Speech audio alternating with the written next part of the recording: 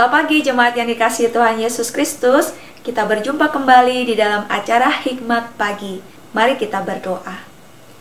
Bapa di surga, sungguh kami bersyukur karena kami boleh mengenal Tuhan Yesus Kristus yang tidak pernah meninggalkan kami dan selalu menyertai kehidupan kami. Bahkan masih memberikan kami kepercayaan untuk menjalani hari ini. Kami bersyukur dan menyerahkan seluruh kehidupan kami supaya Tuhan sendiri melalui kebenaran firman Tuhan yang akan menuntun langkah kami. Di dalam nama Tuhan Yesus kami sudah berdoa. Amin. Tema renungan sabda kita hari ini adalah bergaul karib dengan firman Tuhan. Terambil dari kitab Mazmur 119 ayat 105 hingga 120. Saya akan membacakan ayat yang ke-105 saja. Firmanmu itu pelita bagi kakiku dan terang bagi jalanku. Ibu Bapak yang dikasih Tuhan Yesus, saya akan menceritakan kisah hidup Rizky Samuel.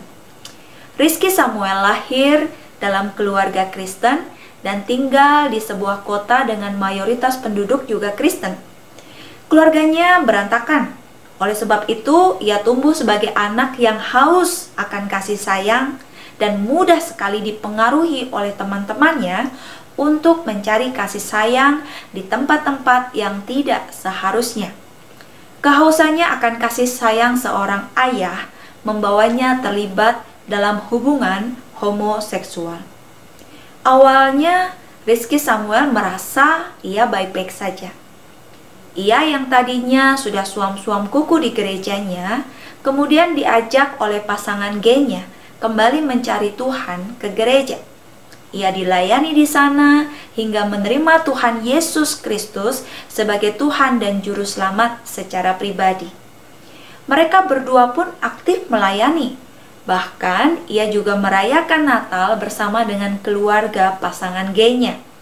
Tidak ada yang menegur mereka karena orang-orang tidak tahu bahwa mereka berdua adalah pasangan gay. Pada akhirnya, firman Tuhan sendirilah yang menegur Rizki. Alkitab dengan jelas menyatakan kepadanya bahwa hubungan antara sesama jenis itu dosa dan kekejian di mata Tuhan. Hal ini ia baca dari Imamat pasal yang ke-20 ayat 13 dan 1 Korintus 6 ayat 9 dan 10. Namun untuk keluar dari dunia yang telah dijalaninya selama bertahun-tahun sangatlah sulit. Dengan berbagai cara ia berusaha membenarkan dirinya. Tapi Tuhan tidak tinggal diam. Kembali firman Tuhan menegurnya dengan keras. Amsal 16 ayat 2 berkata, Segala jalan orang adalah bersih menurut pandangannya sendiri, tetapi Tuhanlah yang menguji hati. Puji Tuhan, oleh anugerah Tuhan, Rizky Samuel dapat lepas dari pola hidup yang berdosa. Meski demikian, godaan untuk kembali lagi pada dosa yang lama kerap menghantuinya. Namun ia tidak goyah karena firman Tuhanlah yang menjadi benteng pertahanannya yang terus mengingatkannya untuk selalu bergantung kepada Tuhan. Ibu bapak yang dikasih Tuhan Yesus, kisah Rizki Samuel ini adalah satu bukti bahwa firman Tuhan benar-benar sebagai pelita bagi kaki kita dan terang bagi jalan kita. Firman Tuhan mengandung prinsip-prinsip rohani yang akan menolong kita menjauhi, bahkan melepaskan diri dari banyak kesusahan, perangkap dosa, dan tragedi yang disebabkan oleh keputusan dan pilihan yang salah. Firman Tuhan akan menumbuhkan jati diri kita dan sikap-sikap yang benar dalam kehidupan kita, membuat karakter kita mengalami pemurnian dan penyelarasan sikap hati Allah sendiri. Firman Tuhan pun menolong kita untuk berteguh hati dalam kebenaran Allah. Jadi, mari setiap hari, setiap waktu, setiap saat kita bergaul dengan firman Tuhan agar kita tidak bimbang hati dalam mengikut Tuhan. bergaul karib dengan firman Tuhan tidak akan pernah membuat kita kecewa. Amin.